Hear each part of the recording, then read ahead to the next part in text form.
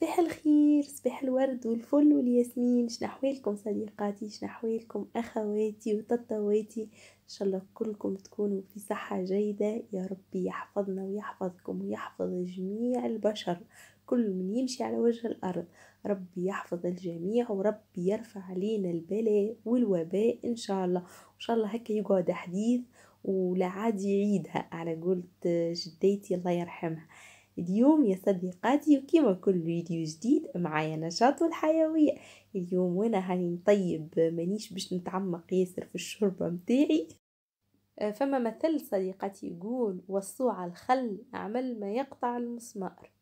عاد أنا الشوربة تو هي الراعي الرسمي في هالايامات هذه فيها البرد وفيها الايامات نتاع الحجر الصحي. آه، المهم إن شاء الله ربي يبقي علينا ستره وإن شاء الله ربي يحفظنا ويعطينا صحة الابدان ويعطيكم ويحفظكم ويبارك لكم في كل خطوة.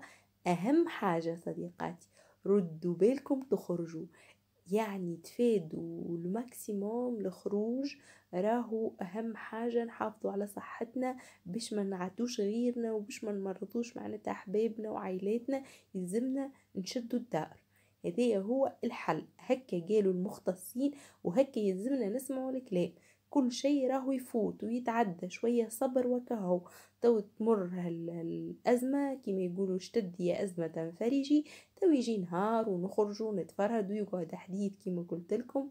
وخاصة هيك اللي يبدأ قاعد يقول لك راني قلقت راني فتيت تذكر هالايامات تو تستحمد ربي في كل لحظة. المهم صديقاتي الشوربة متاعي مكونات الخضرة كما العادة وشوية هكا ما كتب من ربي أعملوا الزهومة اللي تحبوا وشوية آه معناتها آه أفاحات وعملت فيها شوربة لسان عصفور. هذه هي شربتي وكان قص لها في شوية كرافس هنا نسيت آه معناتها لازم نحط فيها الشوربة. أنا ما تحلالي إلا بعود كرافس. صديقاتي العزيزات سامحوني نعتذر منكم مرة أخرى على صوتي. على غالب مازلت هكا أنا بدي تعبة شوي. والله قعدت نقلق فيهم نكلم فيهم ونعاود ونسأل فيهم هاو بيا هاو عليا هاو آه نقيس حاشاكم السخانة نلقاها خمسة وثلاثين ستة وثلاثين. مية عندي وجيعة حاشاكم في حلقي. وعندي إيش سموها توا هبط لي معناتها وليت لي كأنها في صدري. أما يظهر لي هواء ما نعرفش أنا يظهر لي أنا مانيش ولكن آه، ربي قدر الخير وكهو. المهم هاني ملتزمة بالحجر الصحي وكهو آه، بعيدة على راجلي بعيدة على كل شيء ماذا بيا معناتها ما نقرب لحد وما نتنفس في وجه حد وإن شاء الله ربي يقدر الخير. ناس صديقاتي المعون متاعي أول حاجة باش الناحية اللي غسلته سابقا نمسحه وباش نرجعه لبلاصتو. هذه أهم حاجة نعملوها. التنظيم المعون في بلاصتو باش هكاكا ما تحبلكمش الكوجينة وخاصة أنا كوجينتي العسلة صغيرة. ها هو البنات شنو يستنى فيا؟ المعون. اليوم روتين على حقيقته. باش تشوفوا الدار داخلة بعضها الكوجينة plutôt داخلة بعضها كيف الناس الكل تصير الفوضى يلزمني نخملها كما تعرفوا المعون إن شاء الله ربي يعطينا ويعطيكم صحة الابدان الكوجينة داخلة بعضها. آه vraiment ما نجمتش بالرغم اللي أنا حاشاكم مريضة شوي. أما قلبي ما عطانيش باش نخلي الدنيا داخلة بعضها وقمت وطيبت فيم جاري. هاكم معايا الحصيلو هكا باش نشجعكم ونعطيكم شوية énergie positive باش تقوموا حتى نتوما وتعملوا كيفي. شوفوا البنات هاكا ورايا شيء ما هو شيء أول حاجة باش نعملها باش ندخل هيك الماعون أنا جاتني القضية معناتها متاع الشارع يلزمني كل نعقمها ويلزمني في أقرب وقت يعني. وبالرغم اللي خسرني الماعون محطوط برشا لكن باش نخليه باش نغسله من بعد وباش نبدأ في معناتها تعقيم اللي عندي. حتى تشوفوني كيفاش ننظمهم. هكا موجودين في الساشي الكحلة. شريت شوية خضرة ما خرجتش أنا الحقيقة. آه شوية آه معناتها زوز باك وحليب. على ما ياتي المشكلة اللي توا كيما قلتولي الكل الفرينة ما هياش موجودة. أنا البنات راهو لله الحمد تعودتها من بابا الله يرحمه. نحنا في بلادنا نقولوا سبيسة سبيسة يعني القضية الشهرية نسموها سبيسة كنا في دارنا نقضوا هكاك كان بابا الله يرحمه يخلص بزوز شهاري يسموها بالكنزة يعني بالكنز جور وكل شهر.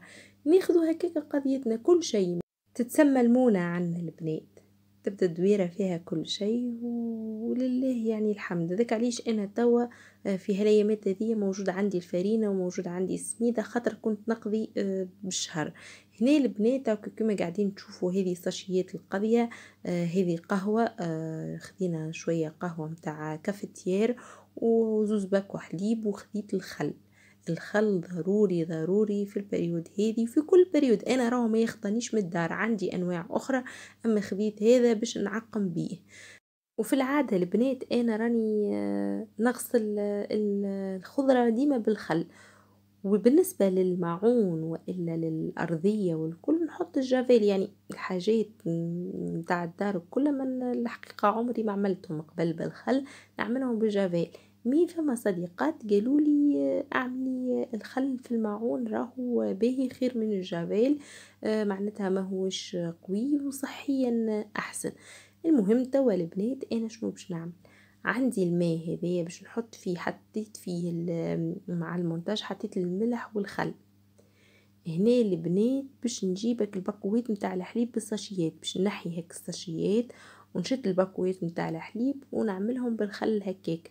مالجري الوحده متاعي الرخامة متاعي مهبيه كيما تعرفوا معناتها ما عنديش باش نحط الحمد لله على كل حال. يا ربي وليك الحمد. اللهم أنعمت فزد الحمد لله على أنا فرحانة بها شيء كبير. ماذا بيكم البنات؟ أي حاجة تدخل للدار؟ تنظفوها ما تخلوش حتى حاجة من غير ما تغسلوه مهما كانت ميسالش معناتها؟ توا البرتقان يلزمكم تشيحوه تخلوه يشيح باش هكا ما يخمر لكمش ولا حاجة. ولكن ضروري برشا إنكم تعقموا كل شيء. أنا حطيت هذيك آه البول فيها الخل والماء والملح ونبدأ هكاكا نحك فيهم وبعدين مازلت باش نزيد نغسلهم الساشيات الكل بنات نرموهم البرا ما نخلو حتى شيء في الدار. وين نعرف؟ الواحد راهو للوقاية لا أكثر ولا أقل وربي يقدر الخير وكهو. مش توسويس كما بعض من الناس تقول ولكن مهم إنه الواحد يتوقع. هذيك السفناري أو الجزر مقوي النظر. والليمون متاعي أو كذا غسلته حتى هو كعبتين ليمون الخضار مازال ما عندوش معناتها أنا ما فهمتش لهفة العباد عليه. لهفة العباد بما معناه تشري بالعشرة كيلو تشري توا نشري بالجمعة معقول باش ما بقاش نخرج كل يوم. نشري متاع أربع أيام خمسة أيام أما إني نهز ونكدس ونحط في الدار وغيري ما يلقاش باش ياكل مش معقول. توا كيما الفرينة والسميد مشو هزوهم الكل أو كمعناتها العباد حاشاكم ملهوفة على الفاضي بعد تو يقعد كل شيء. حرام الأنانية مش باهية حتى في الحكايات هذه. ماذا بينا من من ناخذوش أكثر من طاقتنا نستعملوا كيما العادي. صحيح الواحد ياخذ مثلا في عوض متاع نهارين ياخذ متاع جمعة مش ياخذ متاع ثلاثة شهور. مش معقول معناتها مانيش فاهمة علاش العباد ما تخممش فيه غير ما يجي باش يفرغ باش يفرغ على الناس الكل. انتي باش تخليه في دارك وغيرك ما يلقاش باك وياكل منه المهم إن شاء الله ربي يحنن القلوب ويعطينا أكثر معناتها وعي وتحلي بالمسؤولية إنه نحس رواحنا كلنا مسؤولين والكلنا يلزمنا نخممو في غيرنا تو الدنيا الكلها تمشي لاباس. علاش؟ يعني أنا بيت شبعانة ولله الحمد وغيري والباكوات مخبية في خزانة وغيري ما يلقاش باش ياكل مش معقول. حتى ربي ربي ما يرضاهاش bien sûr معناتها مفيهاش حتى كلام. يعني اللهفة والرغبة أنا اش نحكي لكم؟ حكاية البنات توعظت منها. في رمضان قبل سيدي رمضان اللي فات سمعت عاملين promotion في grande surface للدجاج. وأنتم تعرفوني اللي أنا ناكل الدجاج. ايا مشيت يا سيدي؟ طحت نشري هاك الزدور متاع الدجاج نشري نشري نشري ونحط في رأس الشهر على أساس رمضان. اي سيدك جاي سيدي رمضان. كلينا اللي كتب من ربي وبقى الخيرات الخيرات ما شاء الله. جيتش أنا خارجه مسافر. نقرص على prise قصيت الفريجيدير من غير ما نشعر. يا البنات باش نحكي لكم؟ اللي قدست الكل. روحت الريحة من البلاء من من لاسانسور الريحة شي كبير. قلت من وقتها شو اللهفة نتاع البشر أو كربي قايل هذاك درس. نعبي ونلم ونخبي ونحط شكون قال أنا باش ناكل. هكاكا توا معناتها. لازم الواحد جيست هكا حبيت نتكلم في الموضوع هذا خاطر البنات الكل معناتها صديقاتي وتطواتي الكل يحكوا لي منين الفارينة كيفاش الفارينة الفارينة مقطوعة. وهذا شيء مش مخبي في تونس. الناس الكل تقول اللي الفارينه والسميد مقطوعين. يا أخي قالوا كنا نستعملوا طن ونص يظهر لي ولا طن وثمانية أصبحنا يعني مثلا نقولوا نحن حاجاتنا في النهار طن وثمانية أصبحنا نستهلكوا في زوز طن وثمانية يا معلم يا أخي للدرجة العباد معناتها مش لافة يعني متاع بشرية أخرى متاع نقولوا عشرة ملايين أخرين عليه هذا الكل. كل شيء متوفر كل شيء موجود. الله لا يقطع لنا معناتها خير وخمير كما يقولوا. توا صديقاتي باش نعملوا الجراتان أول حاجة حطيتها البروكلو متاعي قصيته وحطيته في الماء مع شوية فلفل أسود ورند وثوم. نخليه يغلي. الرند وثوم باش ينحي الغاز. هنا البنات ناخذ شوية زيت زيتون. القراج. باهي زيت زيتون يقولوا هكا كي تبدا شايحة ولا تاكل باهي إنك تشرب زيت الزيتون يبرد عليكم إن شاء الله ربي يبرد علينا وعليكم. البنات توا باش نعمل بشاميل نتاع الجراتان نتاعي. أول حاجة نعملها أنا هذه تجربوها وترحمولي على والدي. طريقة هذه روعة. تحطوا الفارينة آه، زوز مغارف فارينة عليهم مغرفة زبدة عليهم نص لتر من الحليب مغرفة متاع ماكلة. هاكم كيما قاعدين تشوفوا تقلوا المرة لولا تحرجوا هاك الفارينة في الطنجرة. وحدها. إي نعم وحدها. جربوا الطريقة تشوفوا محلاها هذه أنا مجربتها بمال دو فوا وعملتها قبل مع اللازانيا.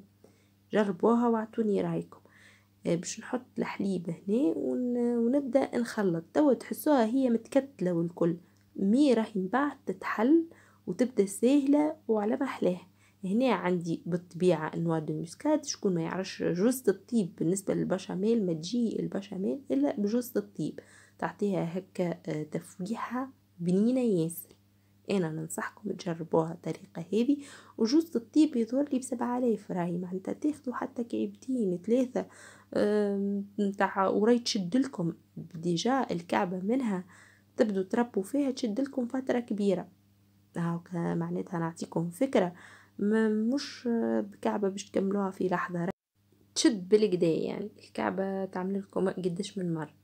ليه البنات اختارت عندي البشاميل ولد كيما نحبها. جربوا جربوا الطريقة وخلوا لي رأيكم كيما العادة يعني. ورحموا لي على بابا. حتى كما تخلوش لي رأيكم ورحموا لي على بابا. ديك عندي بالدنيا الكل. ليه البنات توا باش نحضروا الجراتان تحية لصديقتي المغربية وللمغرب الكل وللجزائر والليبيا الحصيل والكل أشقائنا في الدول العربية الكل. هنا باش نعمل البطاطا البطاطا نتاعي كنت سلقتها طبختها قبل شوية وخليتها شادة روحها باش معناتها نص طياب تتسمى.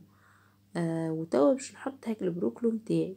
هذه الطريقة أنا معناتها ذقتها من عندها آه سامبل ما ما كمشي باش معناتها مشي مكلفة برشا وما فيهاش برشا تعقيدات تعقيدات. تعقيدات. خليها خليها خلي الحاجات على طبيعتها. استنستوا بيا صديقتي ولفتوني ولفتوني. توا باش نحط لا إله إلا الله سيدنا محمد رسول الله تنجموا هنا تحطوا الدجاج وإلا اللحم وإلا لحم مفروم اللي تحبوا نتوما. أنا عملتها من غير حتى شيء. تعرفوا نحنا في أيام الحجر الصحي ماذا بينا نقتصدوا شوي؟ ما فيها باس كي ناكلوا مثلا الشوربة وإلا الحاجة حاجة طيبة باللحم الجراتان نعملوه ناقص شوية. أو كالبيض يعوض. العظم يعوض. هنا حطيت شوية معدنوس حليتك البيضتين هذوكم وحطيت فيهم شوية المعدنوس وباش نفوح بالطبيعة البيض متاعي بشوية كركم أهم شيء الكركم في كل شيء أهم شيء الكركم في كل شيء. حلوة هذه. توا البنات باش نحط معاهم شوية ملح وشوية فلفل أسود. هذوما حاجتين شوفوا راهو البيض يجي معاه الفلفل الأسود يجي معاه الكركم يجي معاه الكمون إذا تحبوا فما ناس راهي في ماكلتها تدخل برشا الكمون. المهم هنا البنات باش نصبهم هذوكم نجمو تعملوا أكثر بيض هنا حطيت كان كعبتين يفضل فضل. وباش نحط فوقهم هاك الصوص بشاميل اخضروا يا البنات وكان تشموا الريحة. نودكم ولا نشهيكم وإن شاء الله قسمكم منها في الجنة. وإن شاء الله تجربوها. هذه أهم حاجة أنا نحبكم تنجح لكم راهي فاسيلمون ما فيها حاد شيء. سهلة مهلة. آه ريتو البنات ريحة البشاميل الصوص بشاميل. روعة. شنو اللي بننها كنوا دو مسكات؟ يعطي هكا ريحة طيبة ريحة spéciale ال béchamel ال gratin تاعكم. هنا حطيت الجبن جبن البنات كل واحدة وحسب الذوق بتاعها. كل صديقة فيكم تعرف شنو الجبن اللي تحبوا هنا البنات تو باش نحطه في الفرن حطيته على مية وثمانين درجة لمدة أربع درج نحل عليه مرلوطة وبعدين من فوق دوب ما يتحمر. هاكا يعطينا اللون هذاك الدوري. نودكم ولا يشهيكم وإن شاء الله قسمكم في الجنة. توا مبقالي كم باش نقول لكم تبقوا في رعاية ربي وفي حفظه على امل اللقاء بكم في فيديو جديد مع وصفة جديدة مع نصيحة من الروح للروح. نخليكم في أمان الله وفي حفظه.